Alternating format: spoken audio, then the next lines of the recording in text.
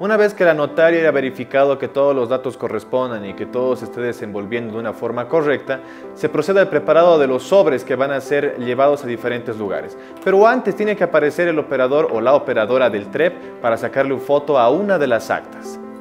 Por favor, señorita. Esta es la acta de la mesa número uno.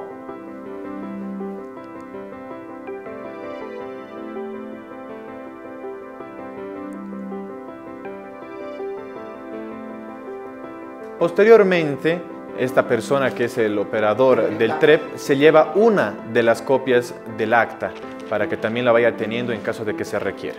La primera copia se va con el notario electoral. La segunda copia se quedará con el presidente de mesa.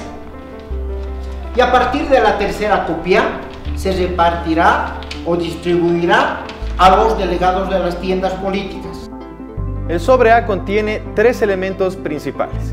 En primer lugar, el acta original con todos los datos del conteo. En segundo lugar está la lista índice de las personas habilitadas para votar. Y en tercer lugar, la hoja de trabajo que se utilizó en esta jornada. El sobre B es muy importante porque en ella estarán todas las papeletas de sufragio utilizadas el día de la elección.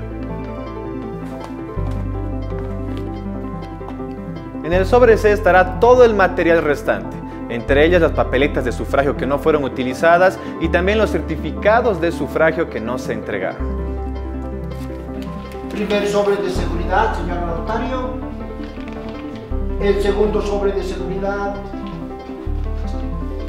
Y el tercer sobre.